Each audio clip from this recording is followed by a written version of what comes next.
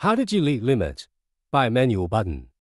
Press and hold the button behind the manual button until a long beep sounds. The limit deletion is complete.